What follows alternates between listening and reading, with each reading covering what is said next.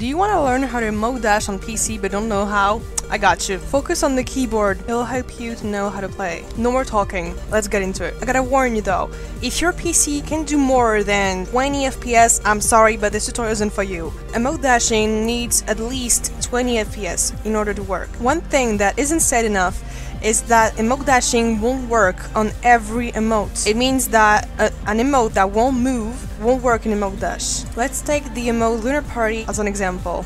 No matter what key I press, it doesn't work. But if I take the bold march or any emote that does that when you move, it means that you can use it. This one can work as well. Many people have been saying to me that when I to emote dash, they keep on slowing down. The key to emote dash is making turns. Using Q and D are very important. I have a French keyboard, so that's why it's Q and D, but if it's an American keyboard, it's just W and D, but it's the same place. It doesn't change. What you need to practice is jumping. It has to be rhythmed. It has to be at a certain pace. This is good. This is bad. When I try to mode dash like this, I keep on slowing down, as you can see. This is because, like I said before, I'm not making any turns. Q means left, D means right. You have to do turns if you're mode dashing on the ground. So I'm gonna press G, third emote, so the 3, Q and Control at the same time. You can rewatch this as long as you need. Just look at the keyboard. If I want to go to the right, I'm gonna press on D while keeping on pressing Control and jump at a certain pace.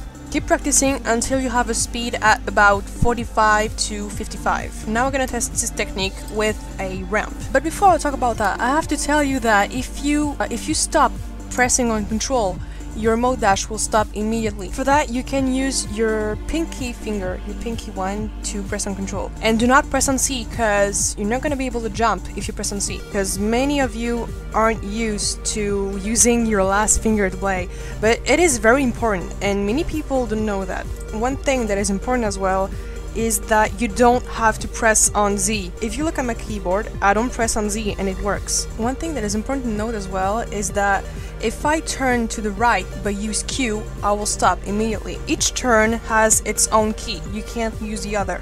Never forget that D is for the right, Q is for the left. Or if you're American, it's A. A is for the left. Now for the ramp. You cannot face the ramp. If you face the ramp, uh, you will stop automatically.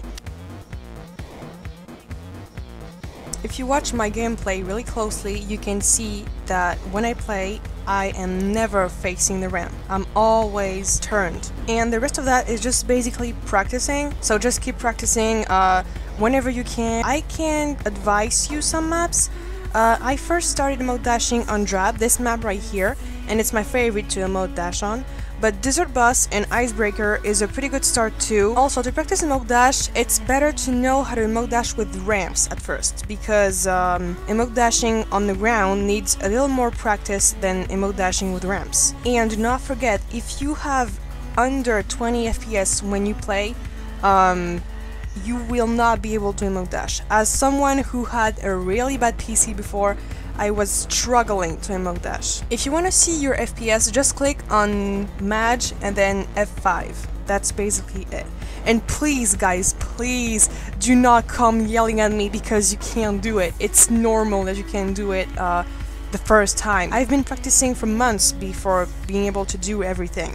So yeah, it takes time, but in the end you're like super satisfied and you can show off your skills and that's awesome. Anyway, that's all for this tutorial. Um, I will be giving away the link in the description for the keyboard overlay that I'm using because many people are keep asking me in my lives what I use. Um, I think that's pretty it. Let me know if you want any other tutorials. Yeah, that's all. Bye!